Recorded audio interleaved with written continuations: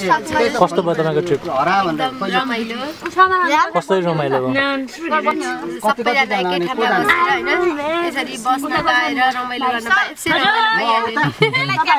सबभन्दा बढी रमाइलो के लाग्यो? अगाडि लाग्यो। के भएको भए चाहिँ रमाइलो हुन्थ्यो?